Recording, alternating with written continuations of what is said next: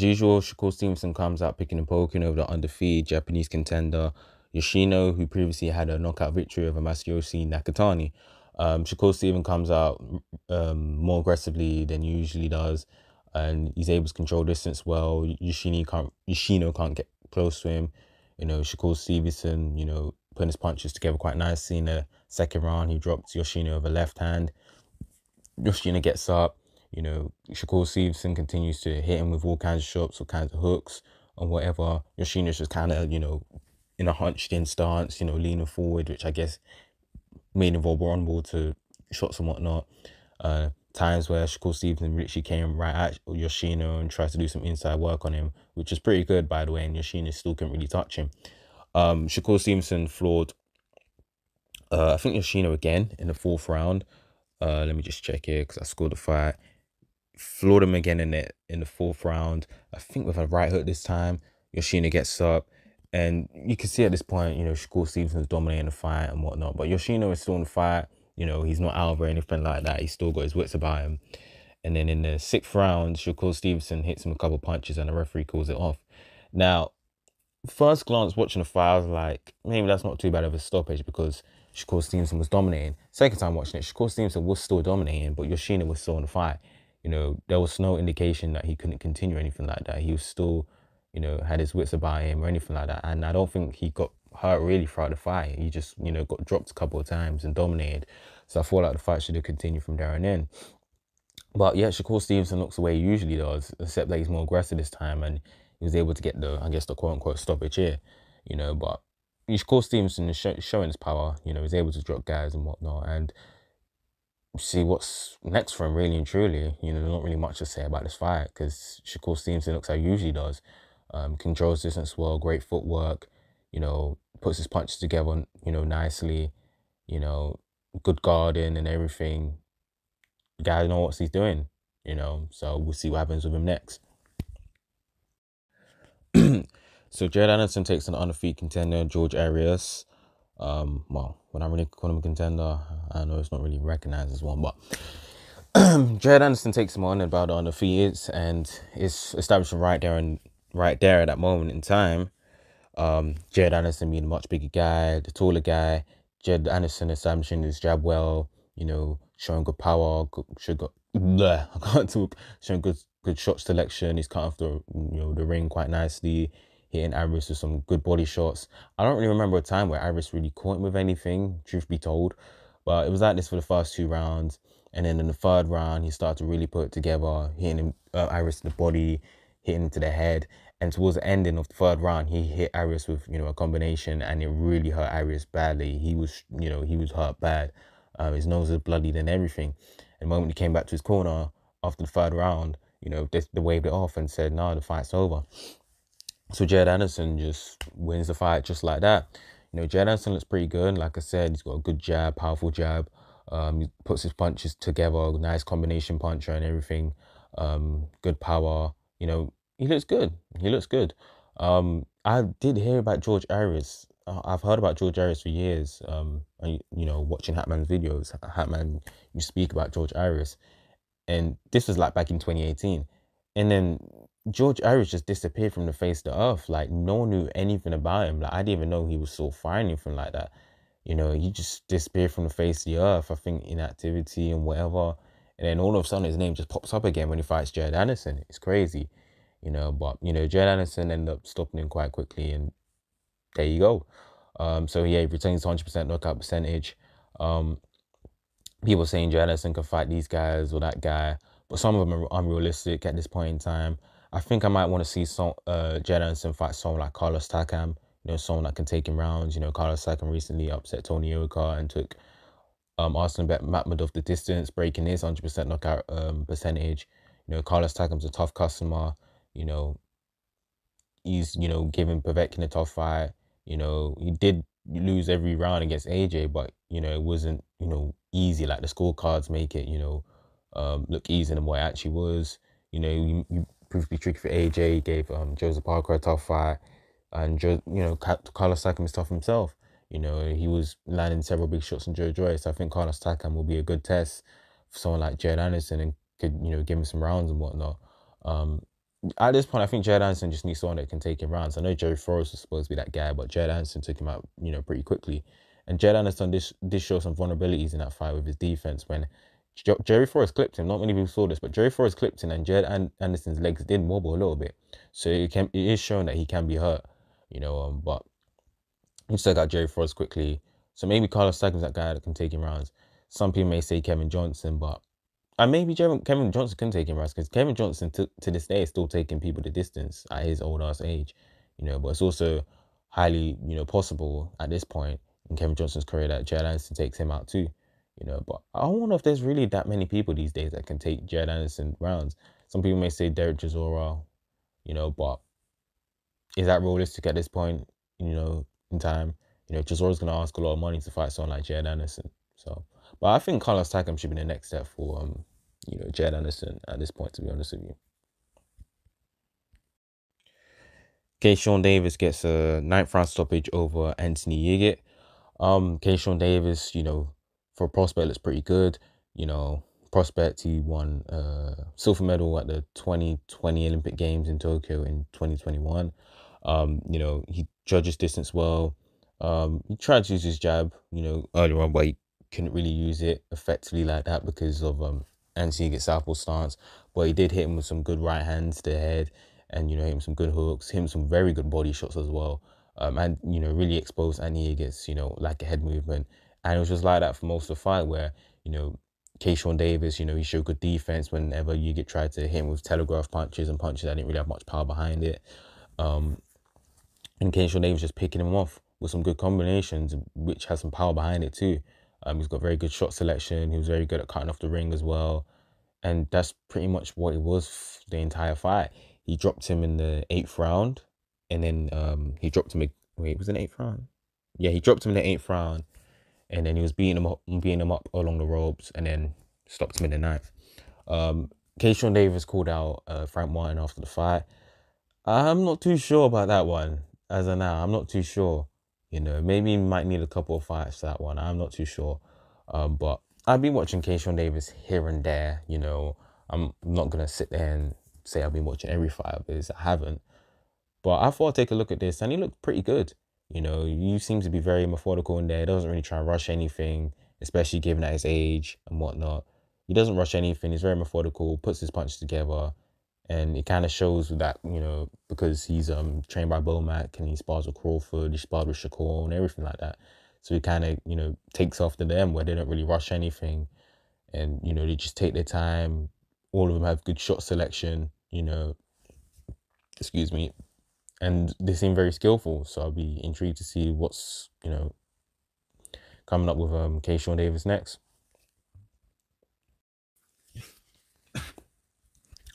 Filipino underdog Marlon Tapales shocks um the Uzbekistan unified champion undefeated fire uh, MJ Akhmadaliev. Um, Akhmadaliev got off to a really slow start. Tapales fought a very strategic fight. You know, kind of keeping, you know, Akhmadaliev at range, but at the same time, you know, jabbing him to the body and him some power left, um, overhand lefts. And Akhmadaliev just couldn't really get near him. You know, anytime Akhmadaliev tried to throw the left hand, you know, Tapales would get underneath it and then count with his own left hand. And it was like that for, you know, several rounds, like the first six rounds and such. You know, Akhmadaliev did have his moments here and there, but I felt like Tapales won, you know, a lot of those rounds, you know, quite clearly, despite the fact that there wasn't really much punches thrown in the six rounds between the two. Um, and later on, you know, Akhmadaliev started to pick up. I think he, I think I gave him around like the seventh round, and then Tapales took back the eighth round, and then Akhmadaliev all the way from nine rounds to twelve. He started to pick it up as Tapales started to gas. You know, you know, Akhmadaliev started to find more success with the left hand you know, started hitting. Did he start hitting Tapales with his own body shots and whatnot? I can't remember. But he started hitting with his own jab. He started to back up Tapales a lot more. And Tapales wasn't throwing as much as he once was either. But it was too little too late. I had Tapales winning the fight 7 5. And Tapales was awarded the fight on a split decision.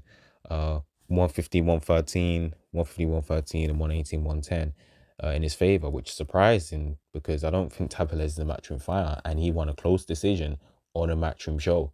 I thought, when just by looking at it, I thought, you know, he won this fight clearly, but had done a split decision because it's a matchroom fight. But no, it was a close fight, a close but clear fight. But it was a close fight, and they actually gave it to Tapales, which is crazy.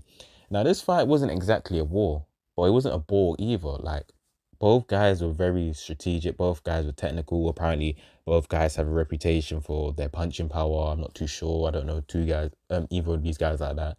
Uh, I know Akhmadaliev more. I've watched three of his fights, including this one. Well, this will be the third fight. I watched his fight against Danny Roman, which was three years ago. I haven't seen it since. I saw his fight against Ronnie Rios, but I wasn't even really paying attention when I watched that. And then this fight here, and I've never seen um, Tapales fight, you know. But both guys apparently seem to have a reputation for you to punch us, so I guess they seemed, you know, where everyone of of each other's power, and there's like very being very technical in there, you know but they was hitting each other big shots occasionally and whatnot. You know, so it wasn't at the ball. It wasn't a war, but it wasn't a ball. You know, it was a, it was a it was a pretty decent fight to watch. You know, but that's really what I gotta say. Two southpaws as well, if I hadn't mentioned that already. And yeah, this is a pretty good fight to watch. But Tapales, you know, upset the odds, and he's now the unified bantamweight champion. So he's he's gonna be looking to fight the winner of um Inoue and Fulton. If Inoue was to win the Fulton fight, it will be an all Asian clash for undisputed, Japanese versus Filipino, and they've kind of had a rivalry for quite some time. Uh, the Japanese and the Filipinos, you know, and a lot of Filipinos are probably going to start flocking over to you know Tapales, you know, um, like they did with Casimero after you know he beat uh what's the guy's name Zolani Tete, you know, and you know Casimero fans rallying after him, oh, or rallying with him and whatnot, and in a way, was scheduled to fight him, and then that fight fell through because you know COVID and whatnot. And never really got rescheduled, you know. And then now Casimero don't even have a title anymore, and now he's fighting at super bantamweight as well. So, hmm. but yeah, that's what I really got to say. Good fight, very good fight.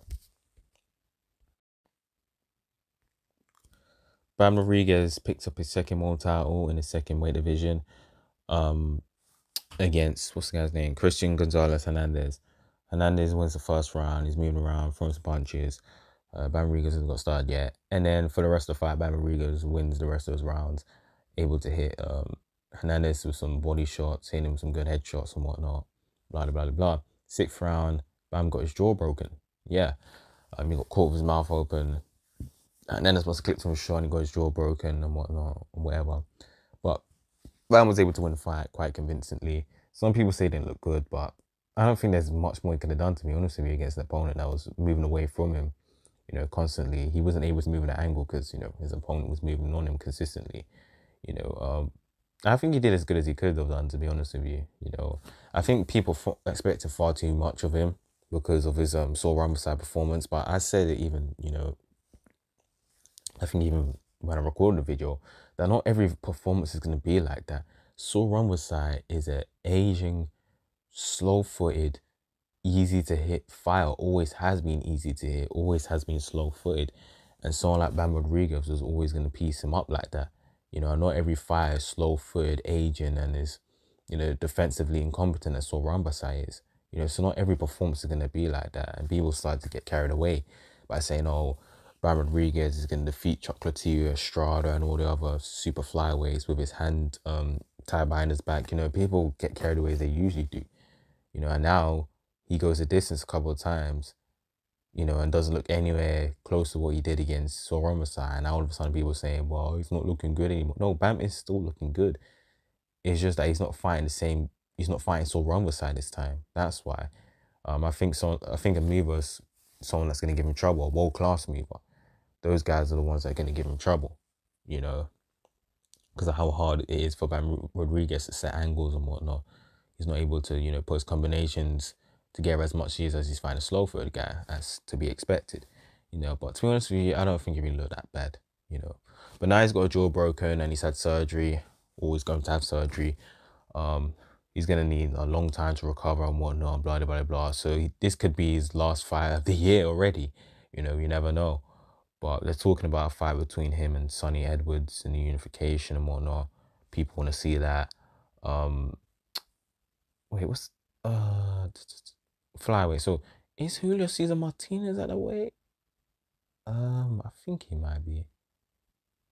I think Ulysses, is Ulysses I think he's at the way as well. Maybe they could go for that. I don't know. But fights to be made out there for Bam Rodriguez. Um, I know he's trying to win. I know he wanted to win, become a two weight world champion, but it is kind of disappointing that he was done all that work at super flyweight to then vacate that tower and move down. Like that, that's very backwards to me, to be honest with you. I can't even lie, you know. But especially, it's even worse, especially when people were hyping him up the way they did, and then he just moves back down. Like it's kind of embarrassing for those that were talking like that, but you know, but he looked good. He looked good. That's all I gotta say. You know, so he's to take a long time to recover, and we'll see how that affects him. You know, going on.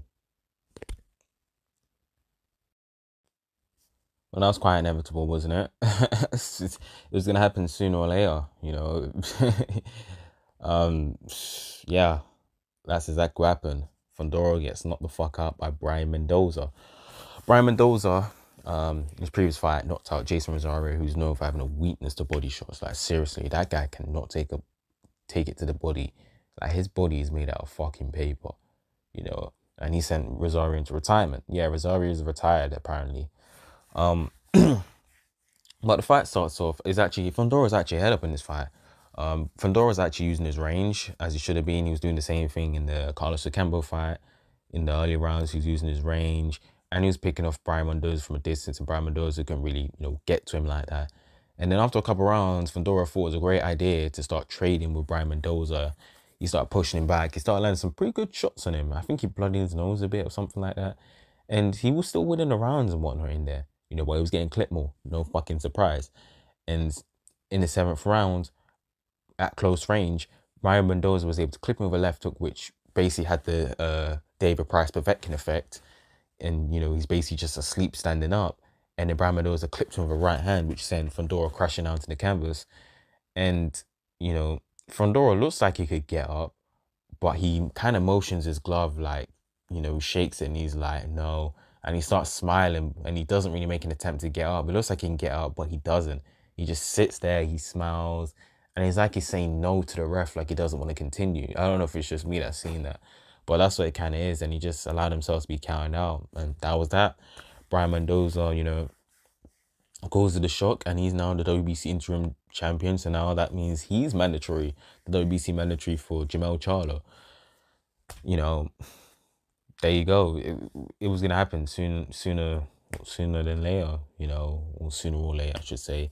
Like Fundora just gives up his height and reach when he does not need to. If he, if he literally for if he literally stood at range, like he did against Campbell the first couple rounds, and like he did here against the first couple rounds, he would not be getting hit as much as he does. He would be having far more success. But for some reason, something in him just feel the need to give up his high reach completely, donate his chin on a silver platter to his opponents, and just have a f- full a full out war.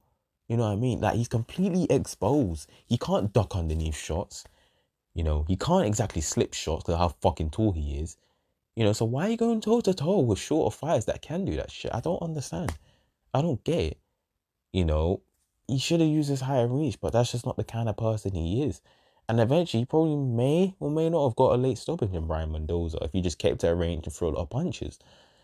But again, it was, you know, he, he let, he, he gets hit a lot, he gets into walls, unnecessary walls, and, you know, fight was able to make him pay for that. You know, so there you go. It's inevitable. You know, so that's really all I gotta say. that's really all I have to say about this fight. But yeah, that's the end of this catch up. Um, thank you for watching. Still got more videos on the way. So first, I'm out. Peace.